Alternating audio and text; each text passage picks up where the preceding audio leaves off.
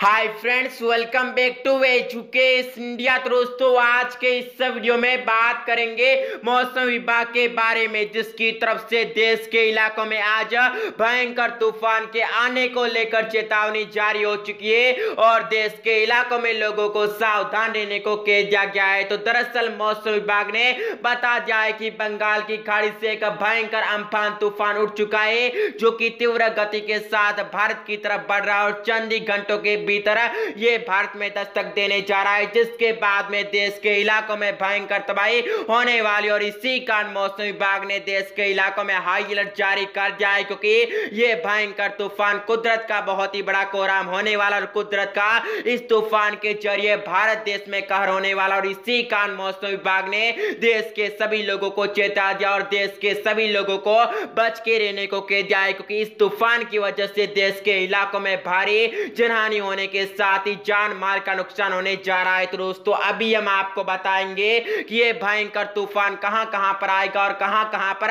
इस भयंकर तूफ़ान की वजह से भारी तबाही देखने को मिलेगी। तो दोस्तों, संपूर्ण जानकारी देखने के लिए आप इस वीडियो को शुरू से लेकर अंत तक देखिएगा। लेकिन दोस्तों, उससे पहले आप इस चैनल को सब्सक्राइब कर लीजिएगा और पास ही में दिख रहे घंटी के निशान को अवश्य दबाइएगा ताकि दोस्तों, आपको आगे भी आपके काम की और मौसम के बारे में हर एक जानकारी सबसे पहले देखने को मिले। और साथ ही दोस्तों, आप इस वीडियो को लाइक और शेयर भी कर दीजिएगा ताकि आपका सपोर्ट भी इस वीडियो को मिले और हमारा मनोबल भी बढ़े। तो दोस्तों, चलिए अभी हम देखते हैं कि कहाँ कहाँ पर आएगा भयंकर तूफ़ान और कहाँ कहाँ पर अम्फान तूफ़ान की वजह से होगी भारी तबाही।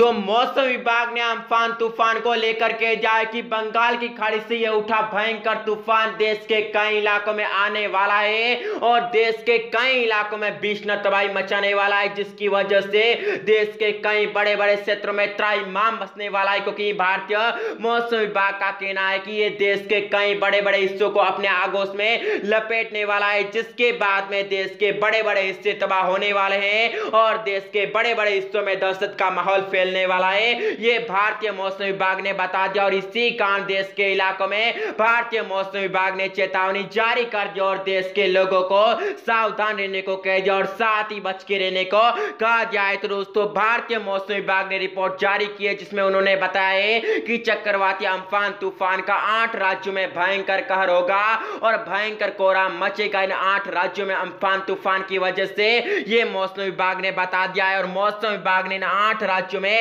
चेतावनी जारी कर दिए। तो दोस्तों, आप सभी को ये बता देते हैं कि कौन से वह आठ राज्य जहाँ पर अम्फान तूफ़ान का कहर ढहेगा और कौन से वह आठ राज्य जहाँ पर भयंकर से भयंकर तबाही तूफ़ान की वजह से देखने को मिलेगी। तो दोस्तों मौसम विभाग ने तूफ़ान को लेकर रिपोर्ट जारी कर दी और बता दिया है कि ये भयंकर तूफ़ान ओडिशा राज्य में भयंकर दस्तक देने जा रहा है। इसके अलावा इस तूफ़ान का भयंकर कोरान त्रिपुरा, पश्चिम बंगाल और छत्तीसगढ़ राज्य में भी होने जा रहा है और वही भारतीय मौसम विभाग का कहना तो ये भी निकल के सामने आ रहा है कि आंध्र प्रदेश, तेलंगाना, केरल और कर्नाटक में भी इस तूफ़ान की वजह से भारी तबाही देखने को मिलेगी और इन आठ राज्यों में भारी जान माल का नुकसान देखने को मिलेगा। ये मौसम विभाग ने अपनी रिपोर्ट में बता दिया और इसी के साथ इन आठ राज्यों में एनडीआरएफ की टीमें तैनात कर दी और मौसम विभाग ने गाइडलाइन जारी कर दी, जिसके बाद में प्रशासन अलर्ट हो चुका है और मौसम विभाग ने आठ राज्यों में सभी लोगों को सावधान रहने को कहा दिया है। तो दोस्तों, इस प्रकार से मौसम विभाग ने भयंकर तूफ़ान को लेकर बहुत ही बड़ी चेतावनी दी है, जिसके बाद में आठ राज्यों को सावधान रहने को मौसम विभाग ने कहा दिया और मौसम विभाग ने